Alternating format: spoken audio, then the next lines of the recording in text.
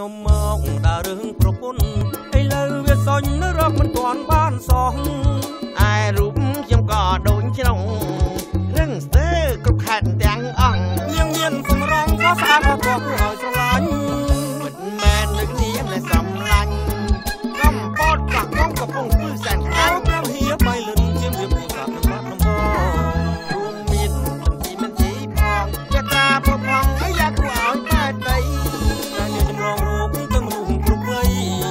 អត់មានទំនេររៀងរាល់ត្រីមិនគ្រាន់ចាញ់ប្រឡាយយើងតែមិនភ័យមិនមានលើក្បែរជំងឺគ្រុនចាញ់មាននៅ20ខេត្តក្នុងចំណោមខេត្តទាំង24ប៉ុន្តែតំបន់ខ្លះប្រឈមនឹងការរាលដាលខ្លាំងជាងគេសូមប្រុងប្រយ័ត្ននៅពេលធ្វើដំណើរទៅតំបន់ទាំងនោះសូមការពារខ្លួនអ្នកកុំឲ្យមូសខាំ